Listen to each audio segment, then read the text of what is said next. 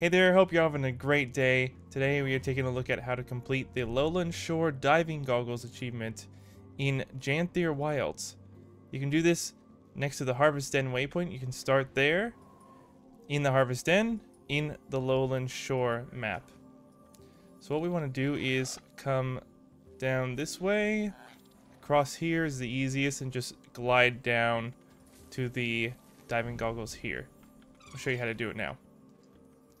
We can take our journeykin across. Over here, down to lowland land speaker. And then just kind of jump off here.